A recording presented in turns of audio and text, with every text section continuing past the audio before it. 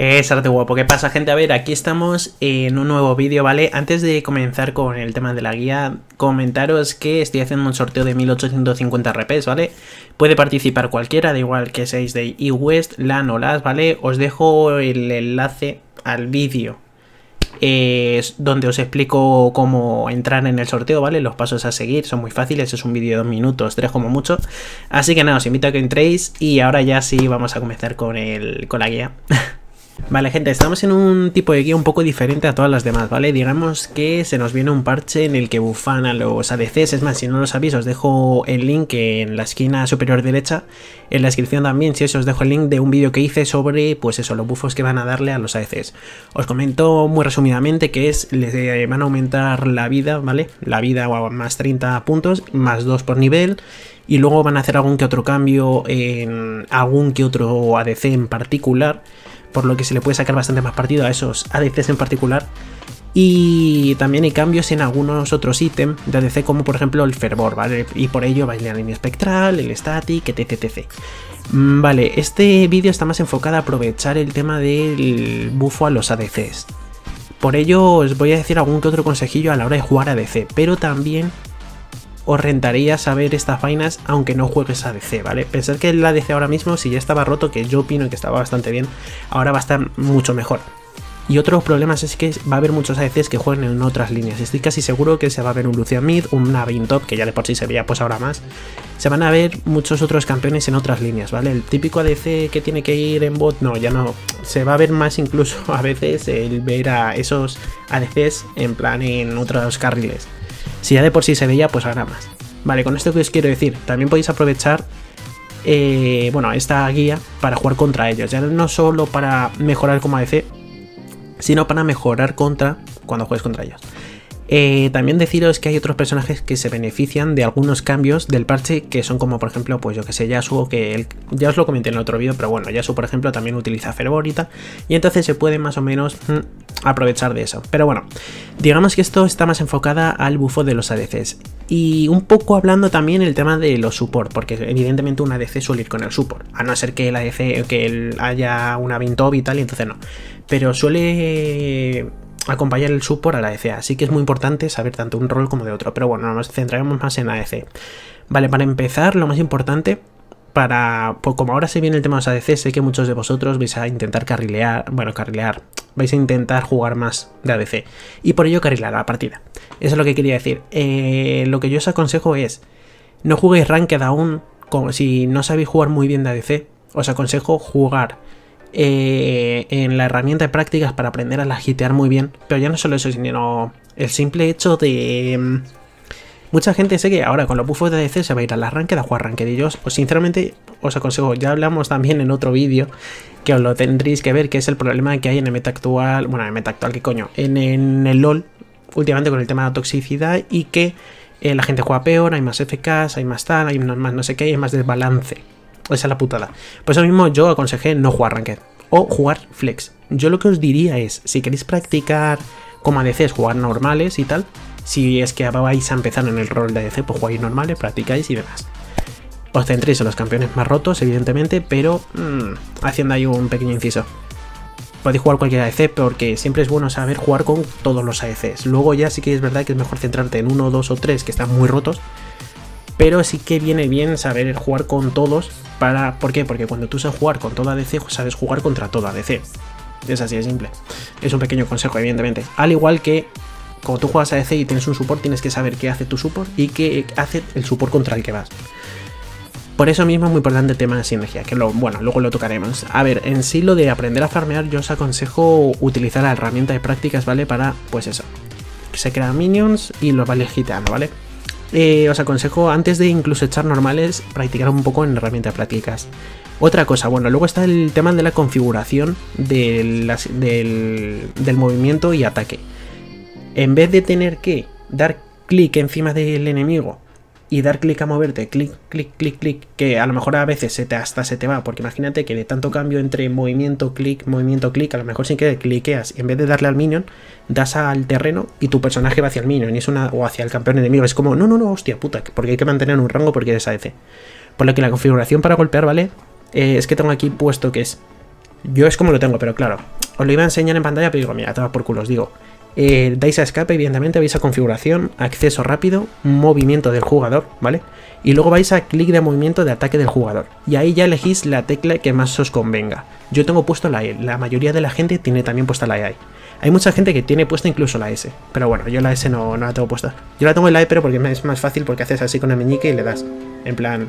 ¿Y qué pasa? Que esto lo que hace es que te sea mucho más fácil cliquear un clic para hacer el, el, movimiento. En plan, tú cliqueas para moverte con el campeón y, le das a la y ataca al enemigo más cercano. El problema de utilizar esto es que no prioriza entre campeón o súbito, sino que prioriza a el enemigo más cercano. Aunque hay un, si hay un campeón y un súbito pegados, si tú haces el clic este, lo de A y tal, vas a dar al enemigo más cercano, no al campeón. Luego hay otra tecla para darle más al campeón. Por lo que a la hora de farmear, os aconsejo hacerlo de clic y movimiento, clic y movimiento, clic y movimiento, ¿vale? Intentar controlarlo. Pero aún así, yo, por ejemplo, soy de la gente que siempre utiliza lo de clic y el A, incluso para farmear. También eh, no está del todo mal porque aprendes, digamos que aprendes un poco más rápido a cómo aprovechar, ¿no? Ese clica, clica, clica, ¿no?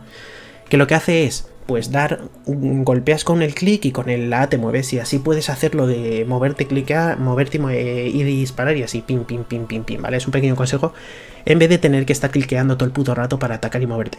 Pues digamos que ya solo te tienes que centrar en moverte con un clic y en atacar con, con otro y ya está los leas uno una vez a uno, otra vez a otro, una, una, una y ya está, ¿vale?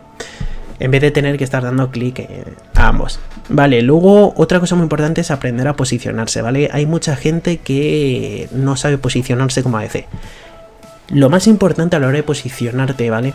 Es mantener la distancia. Evidentemente eres un ADC, los ADCs tienen bastante distancia de básico. Evidentemente tienes que aprovechar esa distancia. Si eres una kill y no eres un, yo que sé, una Vayne, tienes que saber que Killing tiene más alcance, que Vayne no tiene alcance, o que Miss Fortune, por ejemplo, te puede tirar, aunque no tenga mucho alcance, una Q, aprovechar un minion y darte una hostia. Por eso mismo tienes que mantener siempre la distancia y por eso te dije que tienes que saber tener un mínimo conocimiento sobre todos los campeones en general. Otra cosa que os aconsejo es que mucha gente, y me ha pasado personalmente, ¿vale? Que a la hora de hacer una guía, yo una guía de un campeón que ya sé usar. Pero ¿qué pasa? Que por eso mismo yo en las guías leo tan lentamente las habilidades. Y, la, y primero leo toda la habilidad y luego ya la explico y luego aconsejo. ¿Por qué hago esto? Porque hay muchísimas veces que hay gilipolleces o frases que salen en gris abajo del todo que mucha gente que no sabe. Eh, yo que sé, como lo de la W de Varus, o yo que sé, hay muchísimas mierdas que terminas pasando por alto y todo por no leer todo el puto texto. Porque sabemos que la Q de Bane pues hace eso y ya está, ¿no? Pero a lo mejor no sabemos que eso es una tontería, pero es un ejemplo. Todo el mundo lo sabe, pero cuando cliqueas con la R y tal y te das una Q de Bane, pues hace invisible y consigue unas bonificaciones. Hay gente que no sabe qué bonificaciones consigue, a lo mejor se cree que solo se hace invisible y no. Eh, al igual que con otros muchos campeones, que hay gente que no sabe pues cuántas marcas necesita Kaisa para lo de la eclosión o cuántas marcas mete su W a la hora de evolucionar esa propia W, que se va de 1 a 3, eh, etc, etc, ¿vale? Hay muchos ejemplos, por eso mismo siempre os digo, leer las putas habilidades 100% lentamente, tal, las entendéis, y siempre hay algo que podéis sacar en plan de, anda, cuño, eso no sabía, encima este hace más daño, digamos que esto, cuanta más vida máxima tenga el enemigo, más daño le hago, le hago hostia puta. Son cosas que la gente, pues eso, y todo por no leer la puta habilidad, porque se creen que ya saben usarlo. Así que os aconsejo eso, en toda partida que con un EC, leer bien las habilidades, ¿vale? Y más si evidentemente vais a empezar a jugar con un ADC o queréis saberlo usar, que hay muchas veces que se os escapan cosas y no es coño. Luego también, eh, cada campeón ADC, la gente se cree que muchas ADCs tienen las mismas runas, mismos objetos, y no, ¿vale? Cada ADC, cada, cada ADC tiene unas runas y unos objetos diferentes. Evidentemente hay ADCs que se complementan mucho, que son la build suele ser muy parecida, pero sí que es verdad que suele cambiar. Por eso mismo yo suelo traer guías de todos los campeones, ¿vale? Y por eso hay páginas en las que te dicen las runas y la habilidad de cada campeón, la más utilizada, la que más se recomienda. ¿Qué pasa? Que yo hago las guías porque además de explicar cada cosa y tal, también os aconsejo objetos secundarios, porque hay otros objetos que se pillan dependiendo del equipo enemigo. Si tiene mucho CC, pues fajín de mercurio, si no, pues no. Si tiene mucho AP, pues a lo mejor una Foxer Malmortius te puede llegar a salvar la vida. Si no, etc, etc, etc. Hay muchísimos ejemplos, hay muchísima mierda en el juego, ¿vale?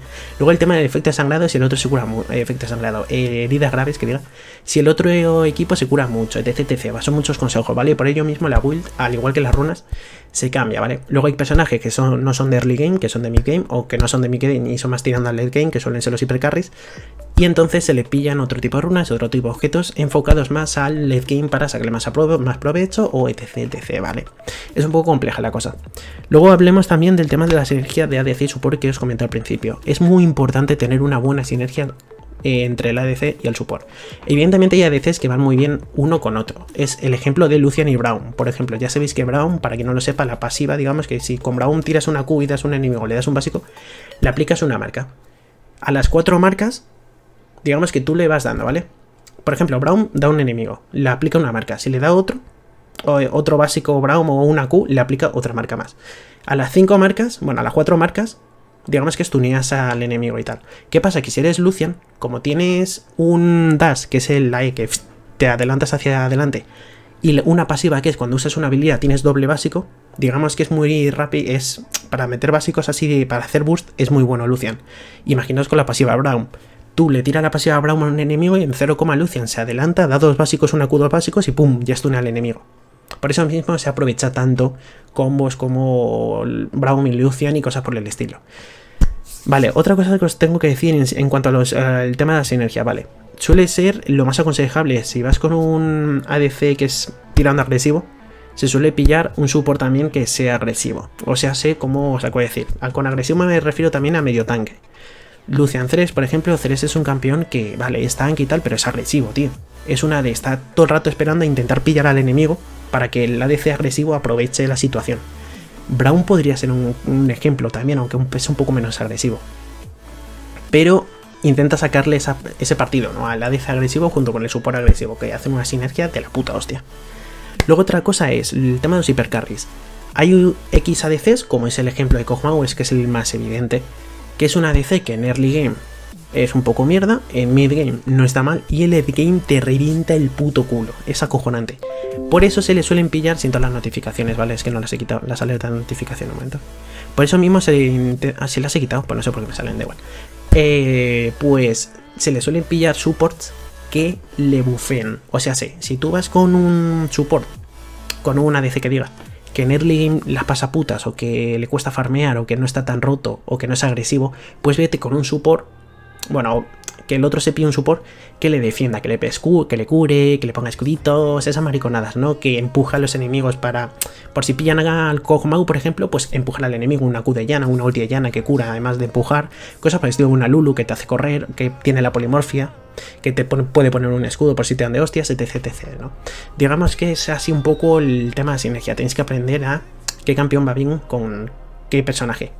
Evidentemente, esto también cuenta con el equipo enemigo qué, personaje que ADC le hace counter a ese ADC o que ADC le hace counter a ese support, porque muchas veces es muy importante también saber el counter que le hace tu ADC al propio super enemigo y no solo al ADC enemigo.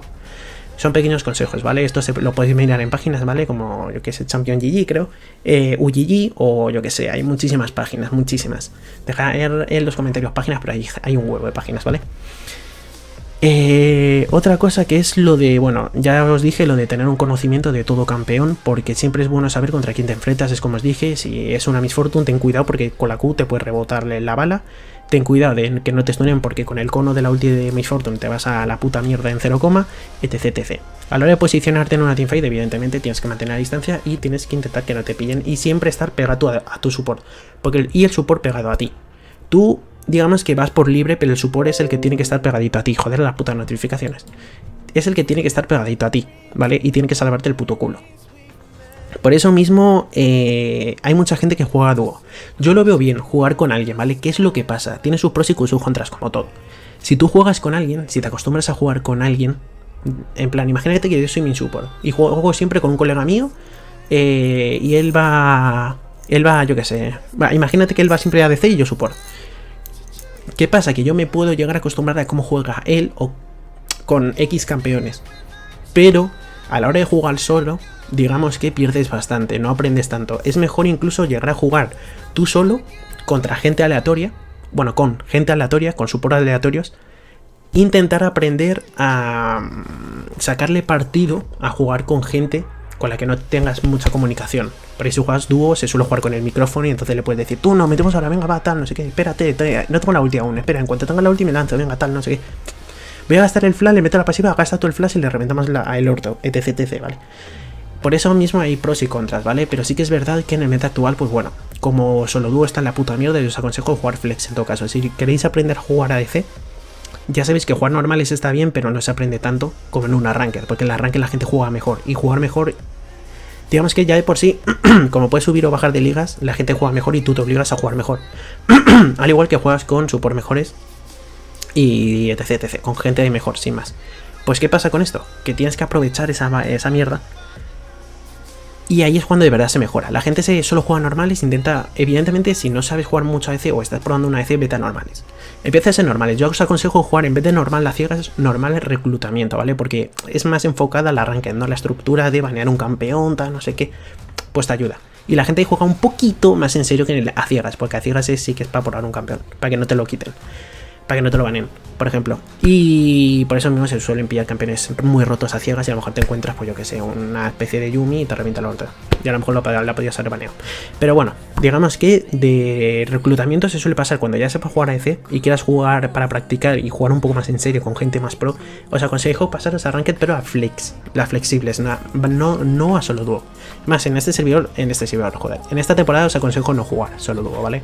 Es la peor temporada, como se explica en el vídeo anterior que dice, pero bueno, en Flex podéis practicar, porque la gente ahí también juega. A ver, en Flex la gente no juega tan tan tan tan tan en serio como solo dúo, pero también se juega en serio porque intenta escalar, porque va por rangos también, por ligas, es igual.